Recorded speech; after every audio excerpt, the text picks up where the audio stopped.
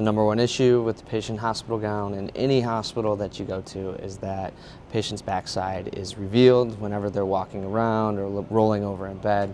So there's a sense of embarrassment and lack of dignity when you're trying to recover in the hospital. So while we're trying to appease the patients and the clinicians at the same time, we granted them access in the back where we've closed it for the patients, but we've created an access panel for any physician, whatever their need might be. After the transplant, one of the first things they want you to do is get up and walk. You want me to do what? Well, the last thing I want to be worrying about as I've got that IV pole in one hand and my wife in the other arm is going down the hall worrying if my rear end is exposed. You know, I'm much less resistant to getting out in the hallway and walking if I've got that closed up in the front.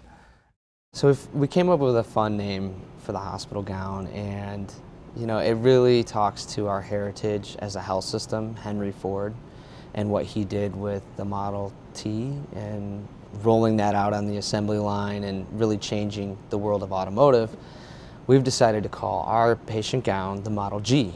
Carhartt makes quality products and we wanted a quality gown for our patients. Um, we spent the time to create the design, but we wanted to make sure that it was fabricated really well because hospital gowns go through a tremendous amount of wear and tear in the laundry process. Over the course of several months, we were able to come to an agreement and they'll be supplying Henry Ford Health System with 35,000 gowns. So if you look at the gown, it actually has no room for patients to be revealed or their privacy to be compromised. But then as you come up here, you have this access panel that actually opens up and clinicians can have any type of access that they need and then it just falls right on, on, on top of itself. So you can see we have a series of eight snaps on the front and in two columns and then you open up the gown and you have clinician access. And for smaller patients, you can move down to the smaller size so that they can have a more custom fit.